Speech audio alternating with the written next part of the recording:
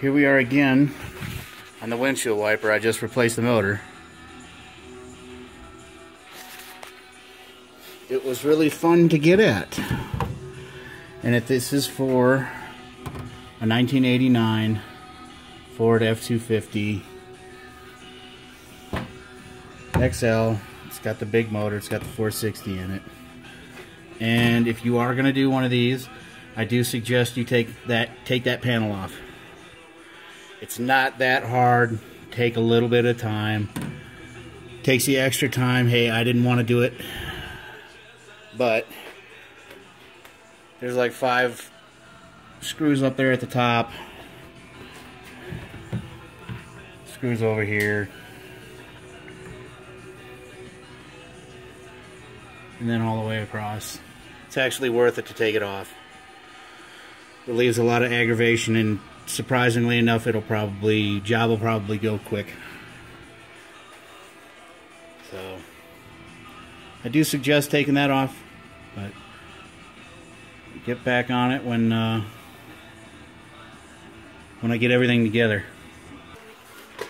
Another reason why I suggest taking it off is if you see right there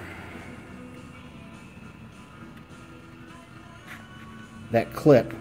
That clip is going to be a lot easier to uh, pull out of there and put back on while this while the cowl is off.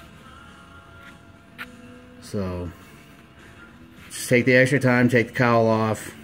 That didn't take me that hard. It wasn't that hard, wasn't that uh, long to put that clip back there. But that's one of the reasons. The other reason is the clearance on those bolts. Alright, I'm back. Got it all set up. There's the new end.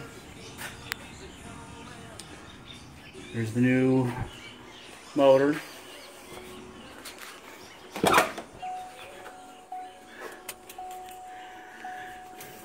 And I also did replace the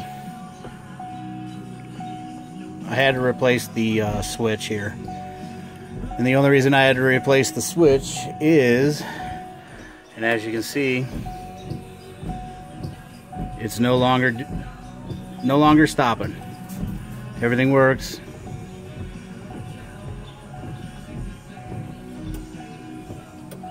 So I'm happy. I believe that is now fixed. Now let me show you what happened with the switch. I'm pretty sure that the culprit was the motor. Because when I was running it uh, a little bit earlier, I put my hand on it and it didn't nearly get as hot as that thing. So I'm thinking that thing was just, it, it was overheating and probably shorting out and stopping. So there you go. Full diagnosis. It was that wiper motor. Let me show you the, let me show you the switch. I don't know why they did that. As you can see, I tried to put some solder on it and it eventually came off so I had to replace the switch. No biggie I think it was only 16 bucks. I think total for that wiper motor and the switch on Rock Auto I think was like 64 bucks or something like that so you know you can't beat that. That's why I replaced it. You know it's stupid. There's no way to get rid of that unless you try and drill it out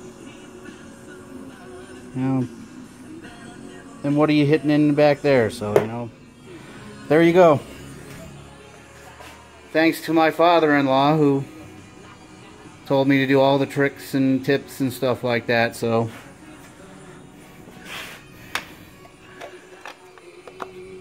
Let's see if we can get this off.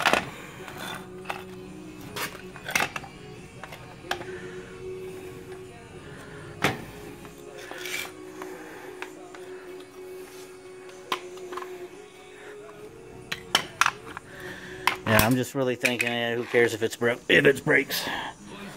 But yeah, there it is again.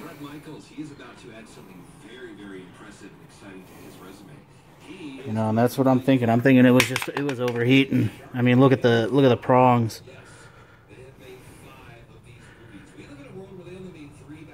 So there we go. All done. And it didn't take, I mean, yeah, okay, it took me a while to do it, but this isn't my daily driver. Just to show you, you take your time. And if you diagnose it the first time, that motor, I think, on Rock Auto was like 34, 36 bucks or something like that. Or it might have been 26. I can't remember. But there you go. You probably would have been looking at like maybe like a $200 job for that. Maybe even more because you had to take the cowl off. I wonder what the book says on how much that's, that'll run you. You know, so good tip and trick. You know, take that cowl off. Take your time. It's just screws. You know, where I used to live at in Ohio, you're probably looking at more of a pain in the butt to do that because everything's going to, all those screws and stuff like that are going to be rusted. But this is a Midwest truck, so I was able to actually get everything off. And to everybody that's in Ohio that wants to do that, spray those, uh, spray those screws with a PB Blaster and let it sit for about a week. There we are. All set, all done. Ready to rock and roll.